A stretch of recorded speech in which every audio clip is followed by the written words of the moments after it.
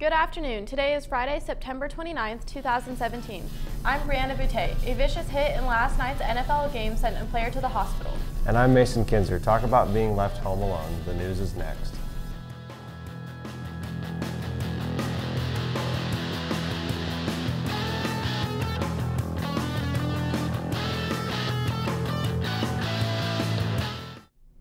Students taking fall semester dual credit courses need to apply for Advanced Opportunities funding and register for their college credits no later than today.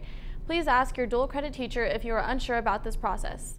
Tennis players, Coach Hughes will be in the gym foyer today right after school at 2.39 p.m. to collect all the money from and leftover tickets from the Linder Farms ticket sales from tennis team members.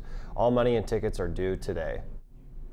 Girls, if you are interested in computer coding or programming camp, please come to the College and Career Center. We have an awesome opportunity for you. Seniors, FAFSA opens up this year on Sunday, October 1st. Mr. Miss Johnson and Mr. Alcantara will be working with you during government classes, October 2nd, 3rd, and 4th. But please also bring your parents to the first FASFA night of the year on October 4th. It will be in the library from 5 to 8 p.m. in the Nampa High Library. Those who complete their FAFSA will automatically be entered into drawing for some awesome prizes.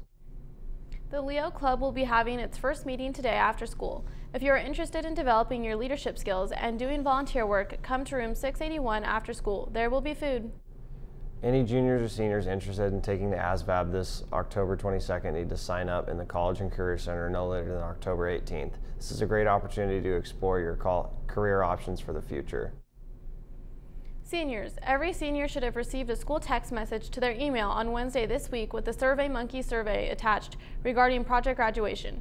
We really value and need your input on this survey, so please take the short survey by this weekend. Thank you. We'll be right back after this.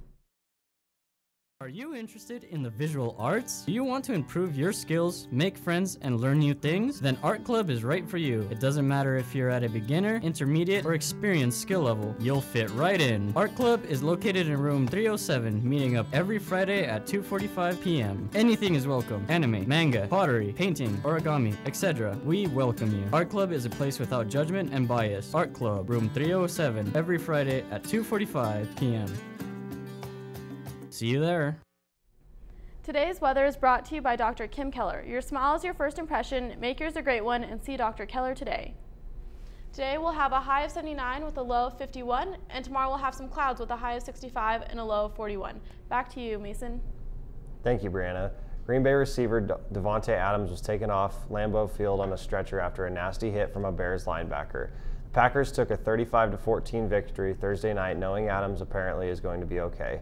Adams has uh, absorbed a powerful helmet to helmet blow that sent Adams' mouthguard flying and briefly knocking him out. Teammates immediately and frantically waved medical personnel onto the field to tend to Adams. The loudest noise in the press box all night came from the gasps and groans when the replay was shown. Adam was taken to a local hospital to be evaluated for head and neck injuries. He was conscious with feeling and movement in all extremities when he left the field. Police have arrested a mother in suburban Iowa who left her four children home alone while she traveled to Europe. Police say they've charged 30-year-old Erin Mack with child endangerment. Police say Mack made no child care arrangements for her kids, ages 12, 12, 7, and 6, before she left September 20th for Germany. Police were tipped off September 21st that the children had been left unsupervised. Officers investigated and called in the Iowa Human Services Department, which took custody of them. Police called Mack in Germany demanding she come back. She was arrested on her return. The SAT word of the day is affable, which means easy to approach and easy to talk to. You could use it this way. To be a school resource officer, a person must be affable. Thanks for watching, and remember, if the news breaks, we'll, we'll fix, fix, it. it.